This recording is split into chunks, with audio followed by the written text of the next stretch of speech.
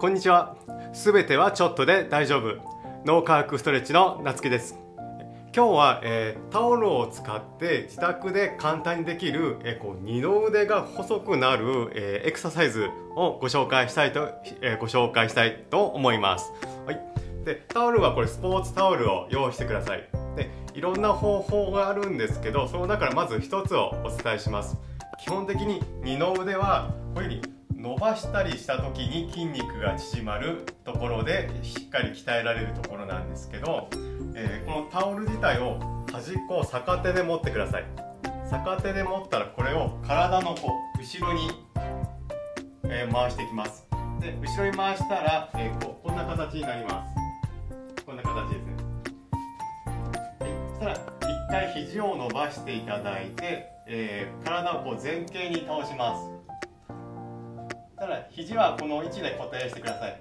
固定したら横にタオルをこう引っ張りながらですね。引っ張った状態で肘を曲げて伸ばして曲げて伸ばして曲げて伸ばして。これを繰り返すことによって二の腕の筋肉がたくさん使われます。で負荷としては、えー、ちょっと低めの負荷なのでスピードで負荷を加えていきます。30秒間できるだけ速いスピードで行ってみたいと思います。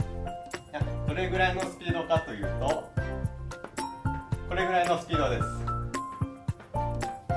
これで30秒間できるだけ速いスピードでたくさん動かしてください。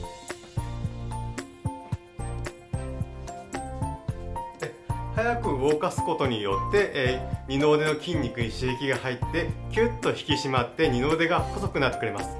これを、えー、30秒、えー、3セットぜひ行ってみてください。それでは、えー、チャンネル登録と、えー、いいねボタンよろしくお願いします。